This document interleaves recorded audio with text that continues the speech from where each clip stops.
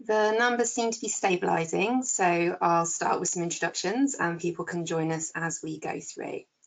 Um, so my name's Charlotte Lester. I am the Policy Unit Lead at the Royal Society of Chemistry and I look after all things research landscape and economy. Um, I'm hoping you're all aware we're here today to talk about UK and Horizon Europe. We have um, colleagues here from the UK Research Office and Innovate UK, Inga, who's UKRO's uh, Deputy Director, and Manny, who is the Head of European Global Partnerships at Innovate. Um, could we have the next slide, please?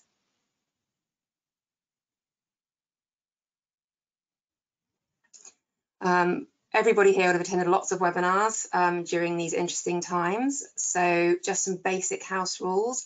You'll have all noticed that uh, as attendees, your microphones and cameras are disabled. Um, you are welcome to ask questions, but we ask that you do so by putting them in the chat. Um, in order to keep, sort of keep the event flowing, we're going to deal with those questions at the end. So I'll chair a session with the speakers at the end, sort of bringing those questions together. And just to let you all know that this session is being recorded.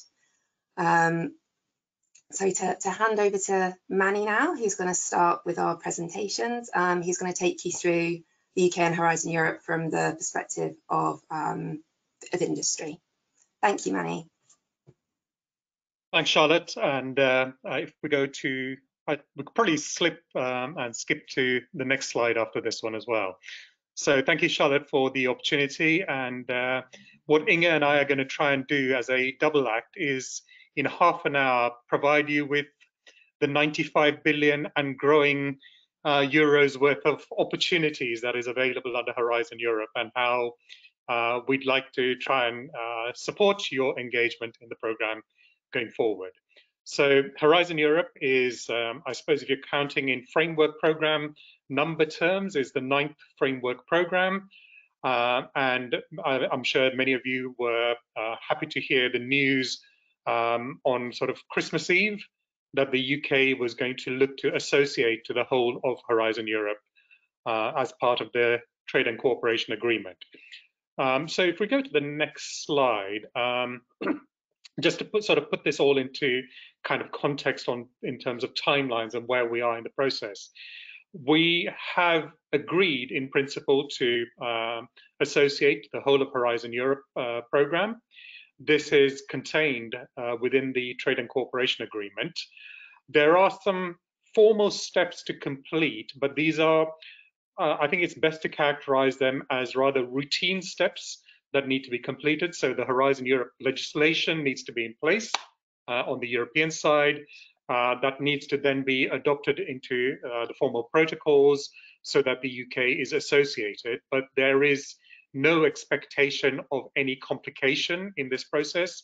We've been involved in the process that has led to the Horizon Europe program uh, looking the way it is, and subject to there being no last minute kind of changes uh, around the substance of the program on the EU side, uh, which no one is expecting now, given that it's all kind of been agreed amongst the member states. Uh, we know what we're signing up for, and it's just a quick case of when that get that process gets formalized rather than actually um, having to worry about any sort of material steps uh, that need to be taken in terms of UK's association.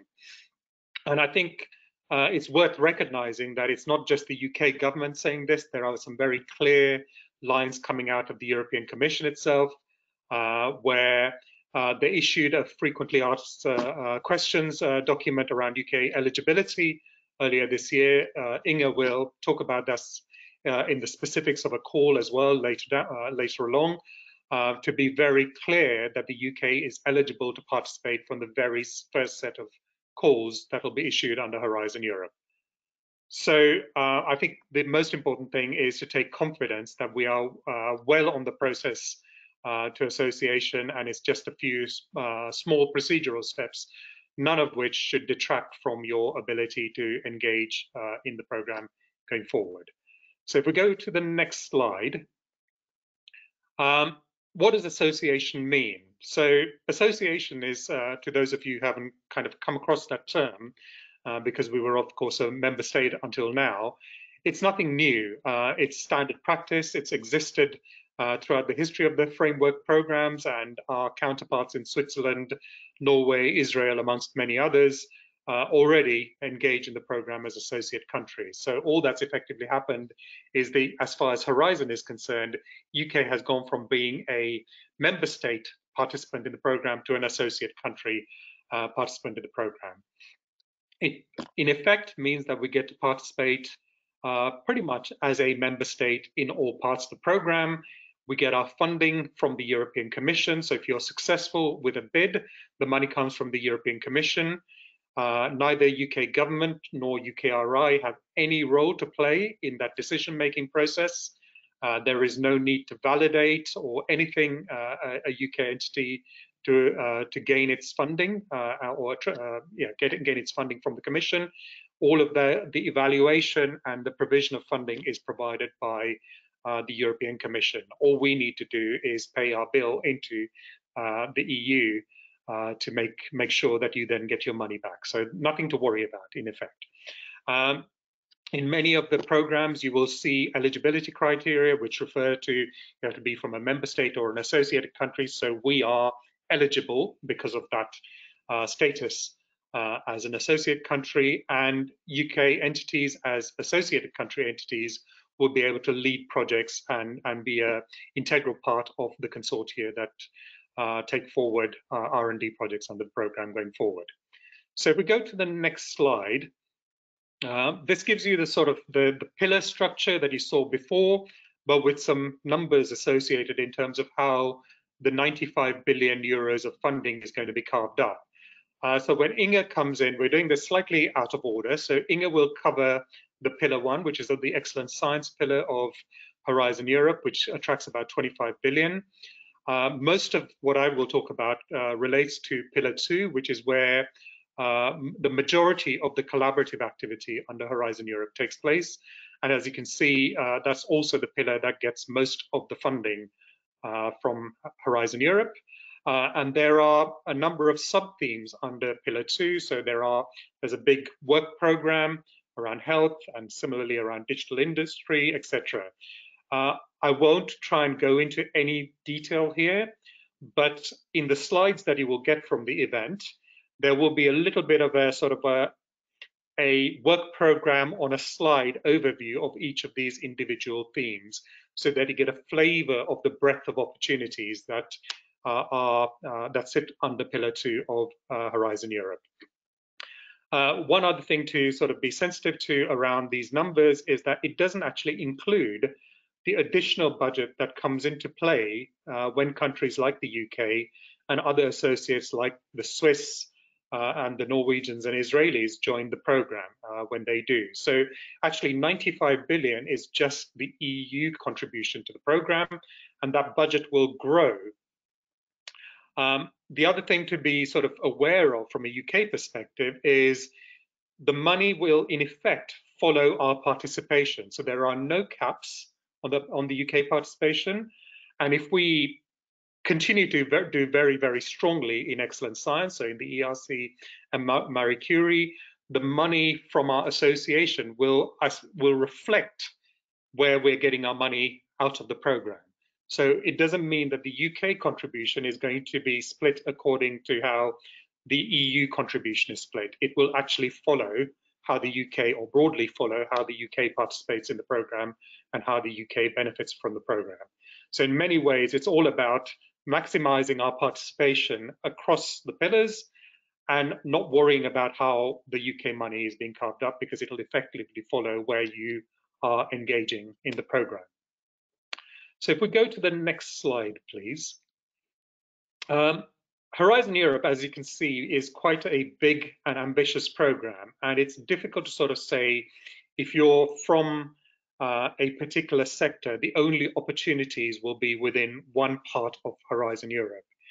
Particularly if you are from um, uh, the, the kind of stakeholders of the Royal Society of Chemistry, you will see a number of strategic partnerships. Often these are industry-driven partnerships in areas like batteries, clean hydrogen, around the process industries, for example, which are very relevant to the academic base and the, uh, the companies that we have, uh, which are related to the chemical industries.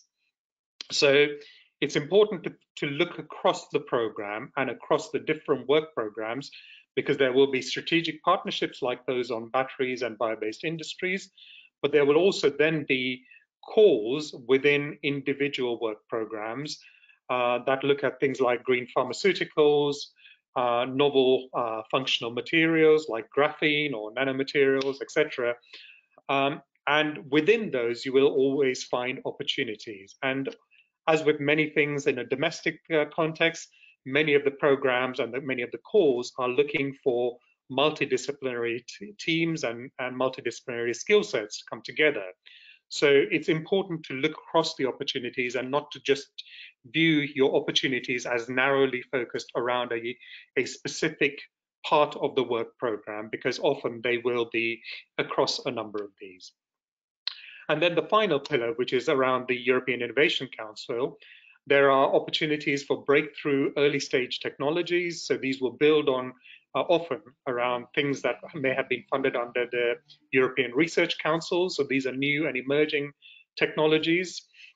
Um, so in the past, you would have seen things like graphene uh, getting funding under um, uh, what was known as the Future and Emerging Technologies Program, which is now rebranded as EIC Pathfinder. Um, and there will always be new opportunities that will come through, uh, including ones that are uh, relevant to uh, RSC members uh, under the EIC Pathfinder. Those can be for academia and industry. And then there will be the kind of the scale up funding. So these are primarily aimed at supporting single companies and particularly SMEs to scale up uh, where you get provision of grant uh, to a single company. So that's a non-collaborative part of the program, but EIC Pathfinder and all of Pillar 2 is primarily collaborative programs, and it covers the, the TRLs or the, you know, the, the stages of research from fairly early stage basic research all the way through to commercialization and deployment uh, in markets. So it could be about things like pilot plants and demonstrators as well. Um, so it is important to look across the program. So if we go to the next slide, please. Um, I'm sure many of you can appreciate why these programs are important and why uh, why they may be relevant for you, uh, uh, be it from uh, an academic standpoint or from an industrial standpoint. So it could be about accessing technology and capability in research groups uh, uh, across Europe and beyond. It could be about um, developing new standards. It could be about uh, you know getting access to markets. So there are a wide range of reasons um, that might motivate you towards uh, participating in this program. And I suppose if we go to the next slide, there's nothing better than a, I suppose, having a uh, a sense of how a company uh, like Promethean Particles, which was a Nottingham University spinout, uh, so it's actually a spin out from the chemical engineering department of Nottingham University uh, rather than the chemistry department. But I hope you can, uh, that doesn't uh, matter too much to, uh, to RSC members. But essentially, it's a nanomaterials company. They started engaging in the program dating back to Framework Program 7, so two programs ago. and as you can see, they've not only have they worked with chemical companies uh, and a whole uh, host of research organizations across uh, Europe, but also with end users like uh, Fiat in Italy. So one of the big benefits of, of, uh, of Horizon uh, program is it brings together the entire supply chain or the research and innovation chain from basic researchers in universities all the way through to end users and markets access to markets uh, as a result of these programs. And the programs can be very, very ambitious. I mean, you can have projects. So Promethean, for example, were involved in a 10 million euro project. Obviously, not all the money was coming to them, but it gives you a sense of the scale of ambition of the program and, and some of the uh, activities under the program, where they can be an integral part of a project. They don't go in and start off with a 10 million project, pound project. Uh, often they may be playing a small part in a program uh, or contributing to an element of a work program uh, within a call.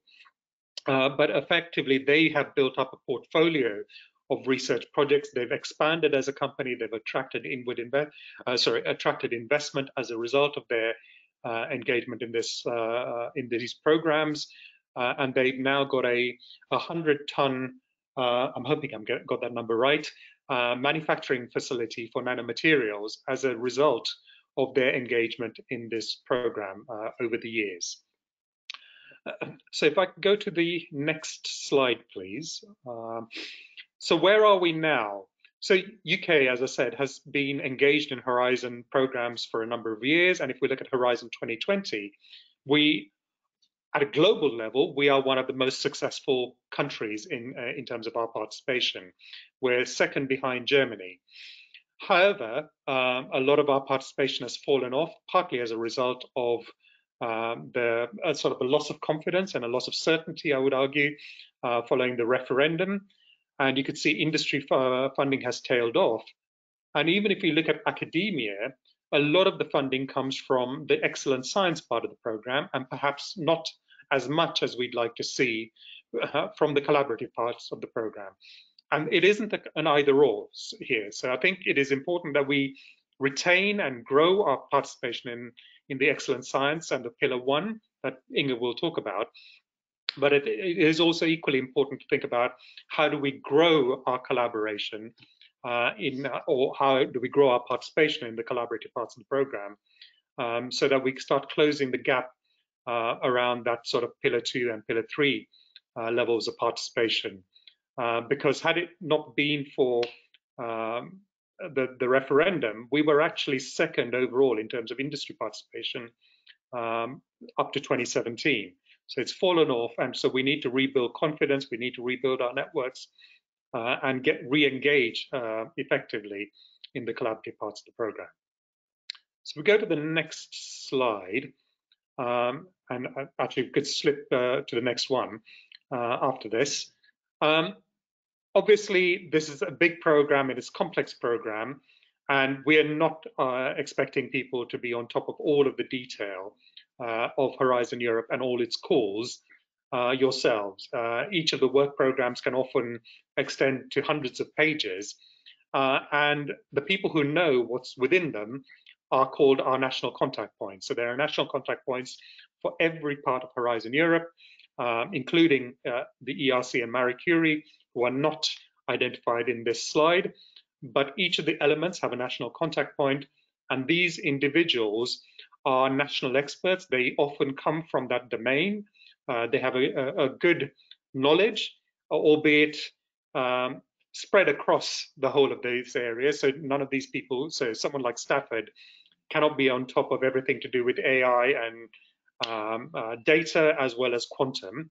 So they'll know a little bit about everything within their respective domains, but they are the experts who you should reach out to if you want to know about uh, know a little bit more about uh, opportunities within individual parts of the program and whether the ideas you have are fit for purpose, I suppose, or fit the scope. If we go to the next slide, um, there are other partners within the UKRI family, which uh, again would be well placed to support you. So Innovate UK Edge has regional offices and they could help you, and they're particularly focused on SMEs, and they could help you uh, sort of look through the opportunities and understand whether these might be the right ones for you as an SME in particular um, uh, to, to engage with. The Knowledge Transfer Network has a lot of sector knowledge and sector and domain expertise, and they also work often with our, uh, well, sorry, not often, they work with our national contact points to identify uh, potential partners, be it in academia or in industry in the UK, but also international partners with whom you can collaborate around specific domains. And then, of course, there is the UKRO office and Innovate UK's Brussels office, uh, which I would say is more focused on the, the policy side of the equation rather than uh, necessarily around uh, helping you navigate individual opportunities. And we work very closely with our counterparts in the devolved administrations, including the relevant innovation agencies there, like Invest Northern Ireland. So if I come to the, I think the next one is my final slide. Uh, I think many of the ones that follow, uh, we can skip over in the interest of time. So it's what I would emphasize is if you are interested in Horizon Europe and you see the headline of a call which you think might be relevant to you and you have something to bring to the table, um, do feel free to reach out to our national contact points and, uh, and discuss uh, your ideas and uh, provide them with a bit of an overview. Make sure you use our partners like the KTN and Innovate UK Edge, but also look at who has participated in these areas in the past uh, through things like Horizon 2020 or Framework 7, because there may be partners who you already know, who you can connect to, uh, because ultimately the bit I'm talking about are the collaborative parts of the program. Uh, and it's thinking it's worth thinking about who you may want to work with around these agendas and where those relationships are already strong that you can build on.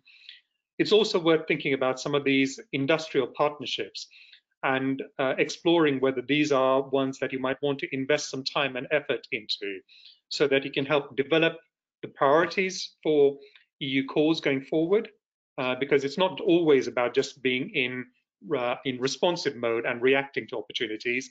There are also a number of structures like these industrial partnerships, which academia, as much as industry, can get involved in to help shape future priorities and future calls. And that often is a good way of building your networks and putting yourself in prime position uh, for, for engaging in subsequent opportunities. And then we have run a series of events in the last couple of weeks in the UK. Uh, we will be running more events in the UK uh, once association is, is formalized but also look out for events across Europe, uh, including ones run by the, the, by the European Commission, um, to to engage with uh, with the opportunities and uh, potentially meet some partners, albeit virtually uh, in in the short term. Um, I'm going to stop at that in the interest of time, um, and I suggest we just skip straight through to Inge's slides, but. Uh, the kind of overviews of the individual clusters, I think you can find uh, as part of the slide pack uh, in time. Thanks. Thank you, Mani. A lot of good advice, especially on that last slide there. I would agree with everything. Really important to find good partners for your project. Um, I will uh, move on to talking about what you can find in the so-called excellent science pillar, so the first pillar of Horizon Europe. And I will focus just on the European Research Council and the Marie Skłodowska-Curie actions.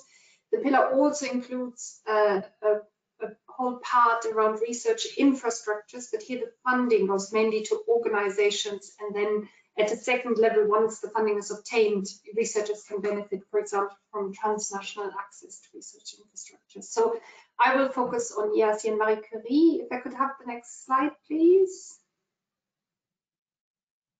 Just a few words about uh. So we're the UK Research Office. We're here jointly delivering with Innovate UK, UKRI's Brussels presence. Um, our mission, and you will appreciate that has been an interesting mission, uh, especially over the last four years, but it's really, really relevant uh, now more so than ever, is to maximize UK engagement in, in the program. And what makes us a little bit different, I suppose, is we do offer two national contact points. They're available to everyone, in particular on these two schemes that I will talk about, the European Research Council and the Marie Skłodowska-Curie actions. But we also, and have done so for over 37 years, I believe, a subscription-based advisory service. And I will explain how you can access that because many of you will have access to this and might not even know at the end of the presentation. So if I could have the next slide. So both schemes that I will talk about have a lot in common and I guess the most uh, important element it is about excellent research, about the excellent researchers, principal investigators. Um, both schemes have an important emphasis on mobility, even though it's probably much stronger in the Marie Skłodowska-Curie actions than in the ERC, but I will explain that in more detail. And both of those schemes provide funding for individuals. So while there are also opportunities for collaborative, collaborative research in both schemes, the real emphasis is on the individual researcher and supporting a researcher at different stages of their career. Uh, and there's also available some funding for training up PhDs under the Marie Skłodowska-Curie actions. And the other thing that's really important is that both these schemes operate on an entirely bottom-up basis. So here it's not about finding the area in the work program that might correspond to the kind of project you want to do. It is about your ideas for a project and it can be from any field of research. Next slide, please. So starting with the European Research Council, you've probably all heard of this over, over time. Uh, this was a new scheme in FP7, so two framework programs ago and has since uh, become very, very famous and really appreciated um, by researchers all over Europe. Um, it offers grants for excellent principal investigators and scientific excellence is the only uh, criterion that's evalu evaluated. So you may have made some experiences with applying for collaborative research projects. Here you look at a research project, how you're implementing it, and you also evaluate it uh, against the impact your project will have and how it corresponds to EU policies. This isn't something that plays a role for the European Research Council. It is entirely about how excellent the idea for the project is and how excellent the track record of the researcher is who is asking for the funding. Again, it can be in any field of research. The principal investigator can come from anywhere in the world, but the, the limitation is that you have to be hosted in an EU or associated country, and that would include the UK. Uh, it can be a researcher of any age, but there are three different defined career stages, and depending on which stage you are in, you would apply to a specific call under one of those three stages. There are some specific requirements. You have to spend usually a minimum of 50% of your working time on the project over typically five years and 50% of your time in an EU associated country. That's also important. And then the last point I will not go into too much detail on because they are really, really complex restrictions that might or might not be in place on submission because it really depends when you've submitted previously under which call because these have changed over the years uh, uh, considerably, but it's something our national contact points can advise on. And it's also, even if you've never tried in, in previous years to apply for an ERC grant, it is important for planning because you don't have to go for the first call in Horizon Europe. There will be calls every year for every one of the schemes. So it's also something where you want to think a little bit about timing, not least because there are those restrictions sometimes on resubmission of proposals. We come to the next slide. So I was just saying there's three different career stages that are considered. First of all, the starting grants. Here, the criterion is that you're an early stage researcher with two to seven years experience since you've uh, completed your PhD. You can obtain a grant for up to 1.5 million euros for a period of five years. And then this goes up when you're considered a consolidator or, uh, or consolidated, uh, for, eligible for the consolidator grants. Here, uh, a candidate has to be an excellent researcher with seven to 12 years experience after the PhD, and you can get a grant for up to 2 million euros for five years. And then finally, here it's not about how many years since your PhD. Here you have to prove you're an established research leader, and this will be done via your track record of research achievements, any age, any stage really of your career, and the grant can then be up to 2.5 million euros uh, over five years. And if you really want to kind of get a better idea of which of these brackets you fall into and what would make an excellent track record in the eyes of the of the panels that the ERC uses to do the evaluation, then you can have a look at the ERC work program, which gives examples of the kind of things that uh, the evaluators look for or the panels look for in terms of the track record. And you can also look at examples, and I'll come to that in in uh, a, future slide. If I can have the next slide, please. So Mani was saying earlier, I will talk a little bit as well about the fact that the UK can participate in, in the ERC calls and why that you might ask yourself the question as to whether that's actually really possible, given that we haven't formally associated yet, but will do is that the first calls for the European Research Council are already open. Now, this is a little bit confusing, I will admit. And it isn't just confusing for researchers in the UK, it's confusing, I think, for everyone who uh, engages with the program a little bit. The reasons for this are difficult to explain, but it has to do with the timings and the regularity of the ERC calls. So Um, the ERC has an annual uh, way of putting out these grant calls, and uh, they were very, they were getting very impatient with the delay um, that Horizon Europe had in being approved, and said they really need to start in order to get through all the rounds of funding calls that they are planning to put out under Horizon Europe. Hence, they've already opened the first uh, two calls. So the starting grant call is open and has a deadline next week. So if you haven't uh, thought about this yet, I would probably not recommend you do a last minute dash for this, but wait for the next year's call in that case, because it does take some time to prepare an ERC proposal. The consolidator grant call is open with a deadline later in April. We did run some events that are also available as a recording if you're interested for both of these grant schemes. And then finally, the advanced grant call will open in May with a deadline in August. So uh, ruining everyone's summer if you're deciding to go for this particular call. But as I said, it's also, it's very predictable. So the grants will open again next year and then every single year of Horizon Europe. Moving to the next slide. And this is just an overview of how the application works because it is quite different from the rest of Horizon Europe. I won't spend too much time on this. Again, it is something our NCP can advise you on in detail, but the submission is a one-off full proposal submission.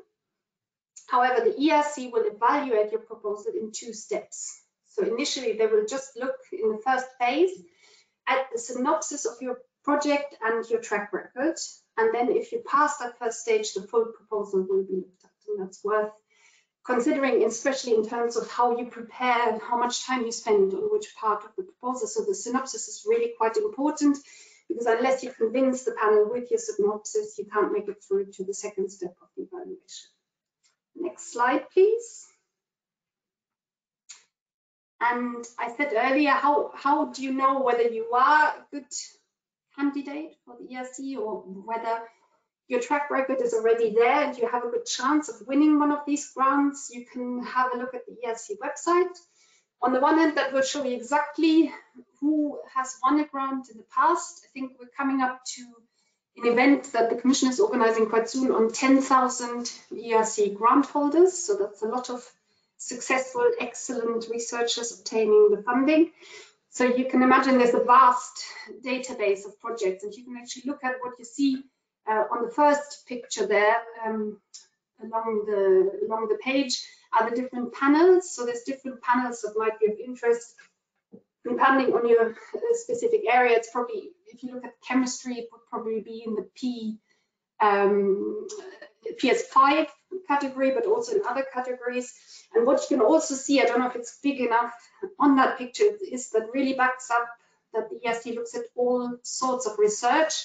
And it's really not about meeting EU policy objectives, because you can see we're looking from from conspiracy theories to a greener world down to um, Christmas rituals. So it could be anything, but what is important is that it's really kind of pushing the state of the art of the scientific uh, area you work in, and that it's excellent research and you have the excellent track record.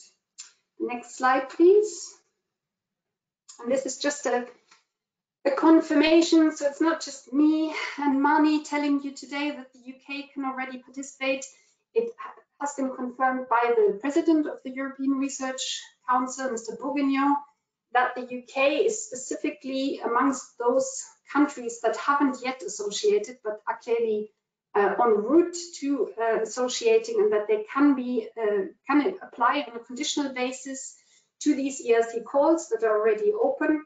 And all that has to happen is that the association has to be finalized before the actual grants can be signed. And there's usually a, an eight month time to grant for these for these uh, Horizon Europe projects. And so we're very confident that everything should be in place by the time you would sign your grant agreement. And this would have no impact on your application and your success uh, or your chances of success with an ERC proposal.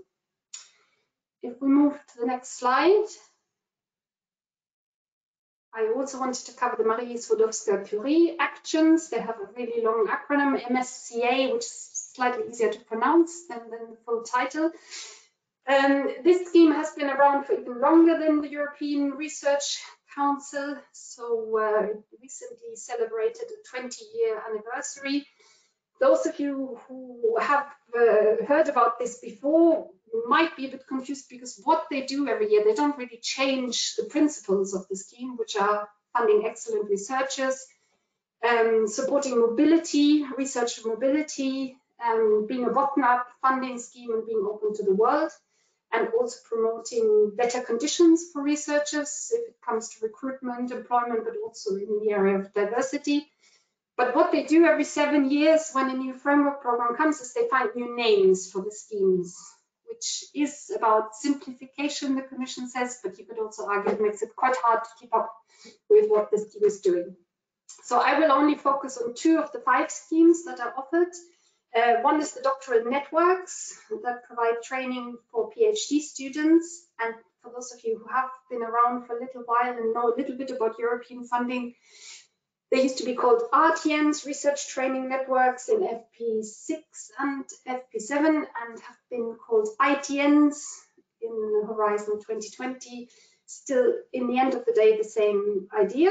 And then I will also briefly talk about the postdoctoral fellowships which used to call the individual fellowships uh, in the previous programs.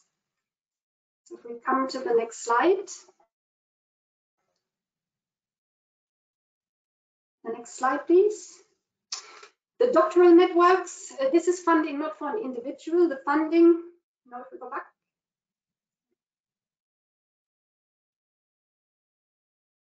If we can go Yes, uh, the, the, the, funding is provided to a consortium. So here we do come back to the idea of a collaborative research project. So organizations come together from different EU member states and associated countries and form a consortium that agrees a plan for training up researchers in a particular area of research. And so they get money for two things, basically for recruiting PhD students that are paid a salary as part of their, their time with the network and money for joint training activities for these researchers. So for example, workshops, summer schools, and all sorts of other training methods.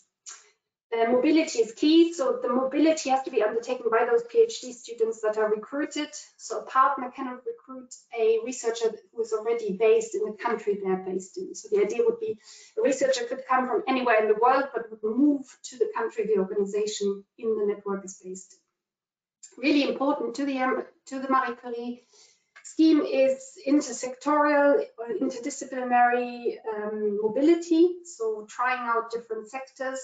And it is also, and that is what they were stressed, it's, it's entirely international.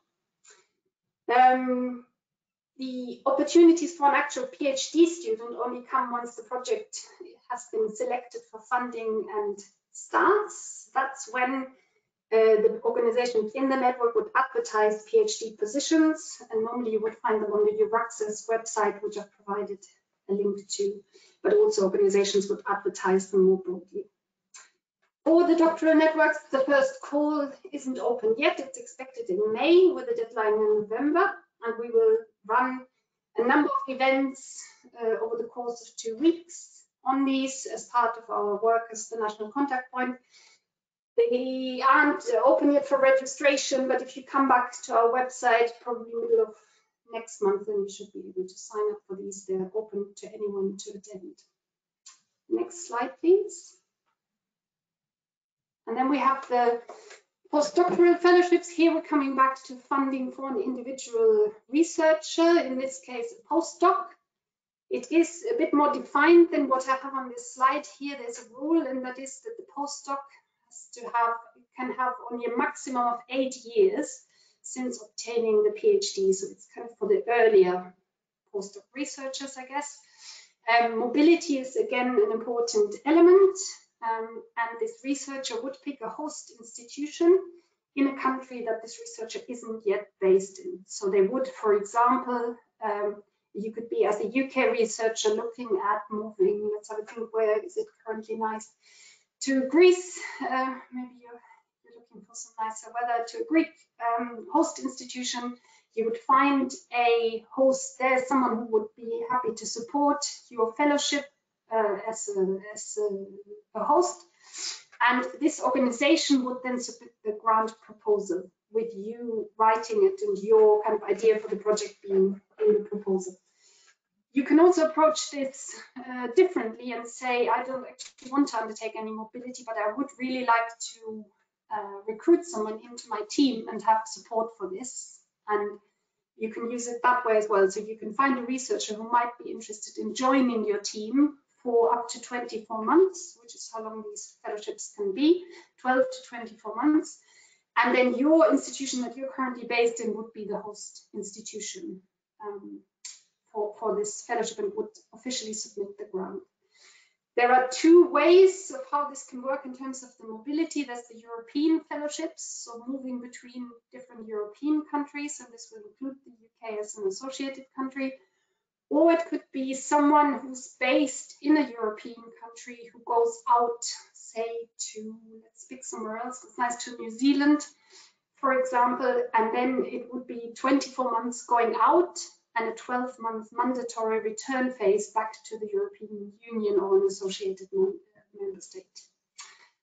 Here, the call will open quite soon in April, so it's time to start thinking about it with a deadline in September, so it will be open for a while, but it is worth really starting early to plan for these calls.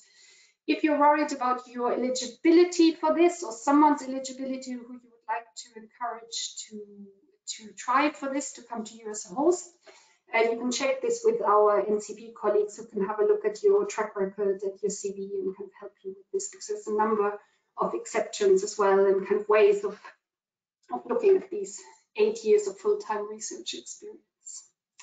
And again, we will be running events at the end of April and they will be open soon on our website. The next slide, please. This is just the contact details for our to uh, NCPs. So Mani had the slide earlier with the photos. I don't have photos. I have four really experienced and nice colleagues who work behind those uh, help desks um, and who you can contact. And they form part of this wider network of national contact points that the UK has on offer for you. On the next slide, please. And then finally, I said if you are based um, and it would probably be a university or research organization, it is quite possible that you're already a subscriber. Our subscription model at UKRO works uh, per organization and everyone in an organization then gets access to our services. So you can buy the link and you will get the slides after the event. You can check whether your organization is a subscriber and then you can create a profile on the UKRO website. Why is that a good idea? Because there's a lot of information, useful information Hidden be behind our website, we offer regular webinars. You can also watch recordings of webinars we've already organized, for example, on ERC and Marie Curie, but also other aspects of Horizon Europe. And we also offer a daily update service that you can but you don't have to subscribe to, where we give you news from Brussels, news on Horizon Europe on a daily basis. Um, we also have an event coming up tomorrow that you can still register for. There's a tiny little mistake I've just spotted in the tweet. It's the 31st of March, not the 13th. So it is tomorrow and you can still sign up for it. And this would be my colleagues from the NCPs telling you in more detail about European Research Council and Marie Skłodowska-Curie. And we also often contribute to partner events. So also tomorrow, if you're really interested in the consolidator grounds, and I think you can still sign up, there's an event run by the British Academy where two of my colleagues from the national contact points will speak about the consolidated grant events and they will be joined by a number of researchers who have successfully applied for these grants and are happy to share their experience. And I think that's it from me. So I think we move back to Charlotte for your questions. Thanks very much, Inga and Manny. Mani, brilliant joining us on the camera. Um, thank you very much for that, those really helpful and informative presentations. We've had uh, some questions come in during your talks and the audience are encouraged to ask further questions as, as we go through. We're due to finish at one o'clock. Um, starting with the, the first kind of group of questions. Um, Mani, as you covered the uh, process that's sort of still going on in terms of finalising that association, formalising that process. Um, could you just kind of clarify what that means in terms of timing, if there's any impacts on people's ability to apply, um, and also could you reflect on whether there are any differences between associate membership and regular membership? So I think, um, thanks, uh, Charlotte. Um, in terms of the process, I think it is a formal process, but it is a, uh, a I best characterize it as a nod through process that needs to be completed for the UK to associate to the program. So it's it's a little bit of procedure, but I wouldn't get too caught up in it. Uh, and I think coming back to Inga's presentation and the, the clear message that we've had on the ERC, but also the FAQ that the Commission has recently issued, do not get uh, caught up in the process. We can start building our beds, be it into the ERC as an individual researcher or into collaborative schemes as of now. Uh, the only issue on the timing is uh, from a procedural perspective, the UK needs to be fully associated by the time the grant agreements are signed. But you're, you're looking at a few months down the line, and all the expectations are we should have these formal processes completed by uh, by April, uh, May this year, probably May uh, this year. Okay. Um, in terms of is there a difference? Technically, there is a small difference. Um, so the EU can decide to make certain calls uh, relevant only to member states. So they can close off participation for certain activities to just the member states. So whereas we could have been guaranteed to participate in all parts of the program before, uh, that we could find ourselves with a, a, handful of exclusions. But again, to emphasize, it will be a handful of exclu exclusions.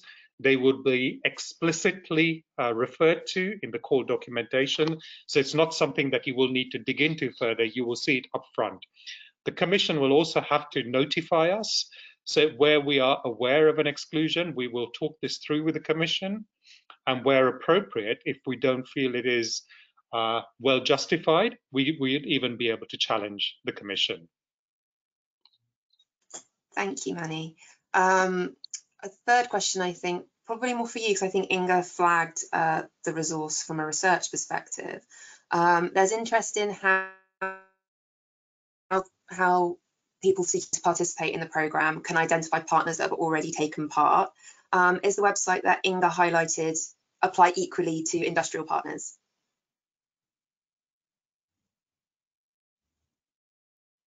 Sorry, I, lo I, lost a bit of connection at, at one oh, point oh, no, that's there. Fine. Um, so Inga highlighted um, uh, a, a, a, commission resource which hosts information about the projects.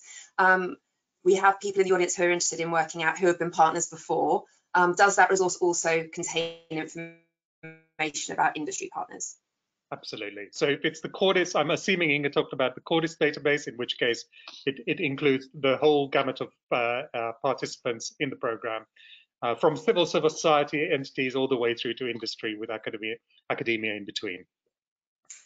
Just, just, to say, mine, mine was actually just the European Research Council one, but there is, and all these Research Council grants are then also included in that funding and tenders portal database that mine was just so for the ERC, you have a special list of all the grants on their website. So the link on my slide wouldn't bring you to that, but it's it's the funding and tenders portal, and we can we can provide the link to that as well. Fantastic. Um, we have a number of questions coming through that's about company participation, Manny, so I'll direct these at you. Um, within the provisions that SMEs are able to apply for, um, are, is there early stage development money that SMEs will be able to apply for? So um, there's only one scheme which is uh, targeting individual SMEs, which is the EIC Accelerator. Uh, and that is for relatively later stage, um, sort of in terms of TRL development, it's about sort of deployment and demonstration type of activities.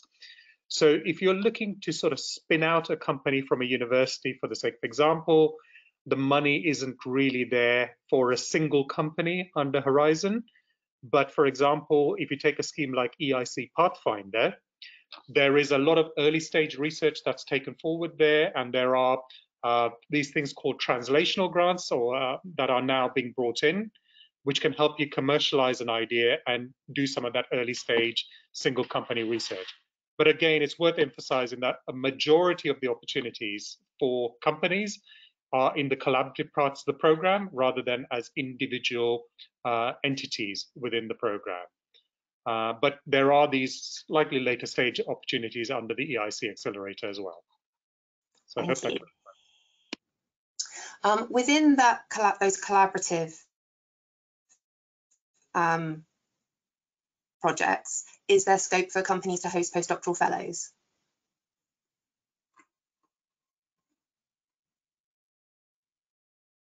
Sorry, Inga, did you want to come in on the postdoctoral fellows? I mean, I think it's the consortium. I mean, if you are a, if it's a collaborative project, you um, you resource it as you see fit. And if if it so happens it's a postdoctoral fellow who will deliver a piece of work, there's no uh, no reason why not.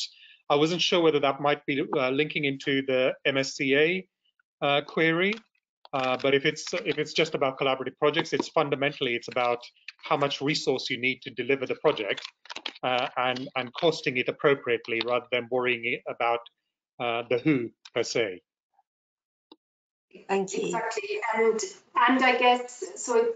A lot of the funding that you apply for in a collaborative research project go against the salaries, and the salaries can be any any type of researcher that you think you need to deliver the project you do also have the Marie Curie actions have a strong kind of, uh, or, they're very keen to, as I said, have this intersectorial component. And there is, for example, as part of the postdoctoral fellowships that I talked about, there's a possibility after the 24 months to extend that by six months if, you, if the fellow wants to stay with a non-academic partner, for example. So there is some opportunities also in Marie Curie for uh, staying with industry partners as well as doing something with an academic partner. And that's that's also over the course of this program has become increasingly important, I think, as part of the scheme, this industrial experience for both the PhD students and the postdoctoral fellows. Thank you both. Um, we have a question here about how European grants are now considered. So um, are they will they still be considered as government aid? So I think this is a, a state aid uh, related question and probably coming into R&D tax credits. So um, EU grants are not considered state aid, but obviously the UK is no longer part of the state aid framework. Uh, there is a BEIS consultation on the future subsidy regime, um, and I think we'll have to await the outcome of that uh, consultation and future guidance around R&D tax credit to, to know whether there is a, a difference in how you classify your EU grant versus uh, any domestic funding uh, you may get. We do have a few questions coming in about individual eligibility. Um, I think these are probably best dealt with um, by directing people to the national contact point. So I'll make sure that those contact details are highlighted to everyone when we have our round robin after the event.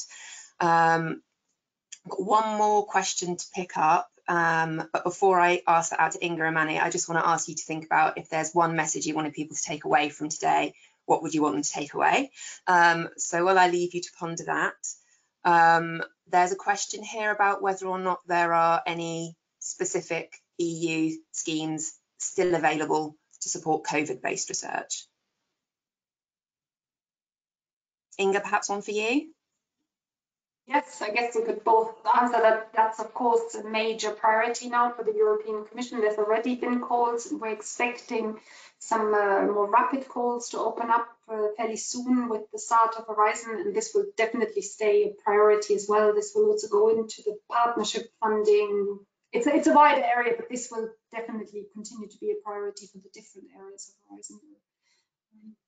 So under the health program, uh, we are expecting a set of COVID related calls to be issued fairly soon.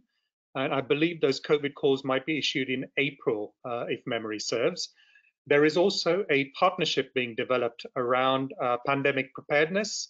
Uh, it's very much in the early stages of its development at this stage, uh, but we are expecting something in that space to also uh, come through in the in the coming months. Um, and under the health area, there is a, a partnership called the Innovative Health Initiative. Um, they also issued some calls related to COVID um, during the during the pandemic. And again, as Inga uh, identified, we would expect some of these opportunities that are COVID specifically or more broadly about pandemic preparedness to uh, to appear throughout the lifetime of the program. Thank you. Um, so we're just coming up to the end of the session. So um, Inga, if there's one thing you wanted the audience to take away from today, what would it be? I, I guess I said our mission is to maximize participation. It's really important we the participation again or we maintain where it has stayed high. And for that, I would say you've seen we both, we could have filled more slides with the support that's available, make use of the support that's available. If you're confused where to go, you can ask any of us. We will signpost you to the right contacts and who can help you best with what, but there is a lot of support available from helping you with identifying the right area, where to look in the work program, all the way through to managing your project, making sure you don't trip up at audit. And, and so there's, there's a huge network available and and make use of it. Um, and Manny, if you'd like to add anything to, to Inga's thoughts? I think that point on the support that's available is absolutely critical. But the second thing I would add uh, as a complement to that is that this is a huge opportunity for collaborating with the best partners in Europe and beyond. There are no limits in terms of funding drawdown, so please make, make use of these opportunities because there is no other framework which is as flexible in terms of who your consortium are. Bilateral programs are much more complicated than a multilateral program like this with a single pot of funding. There are no allocations. So it's really in all our interest to make the best use of association. Thank you. And thank you to everyone for joining us today. Um, you will receive a copy of the um, event that's been recorded um, in the next couple of days and we'll also provide you with copies of the slides. Um, within that circulation, we'll also be asking you to fill out a survey. I know you get asked lots of, the, lots of these sorts of responses from every event. Um, what I would do is encourage you to complete that to let us know where you'd like to know more um, and if there's anything that we've done today that hasn't worked well for you. Um, so thank you again, everybody. I think it's been a really helpful event. Um, it's been great to have speakers from UKRO and Innovate come and talk to our community. Um, and I wish everybody a full and fruitful day.